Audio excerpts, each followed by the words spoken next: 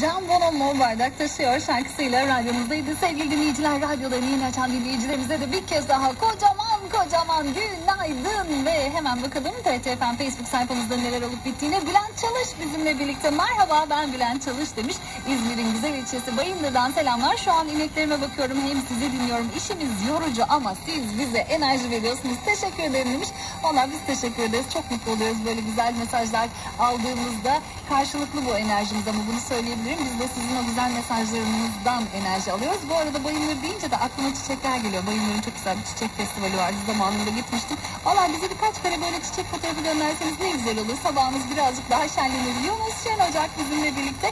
Ona da çok teşekkür edelim ve şimdi sözü Melek Mosso'ya bırakalım. Melek Mosso hayranları radyolarının sesini yükseltebilirler. Sarıla sarıla radyomuzda.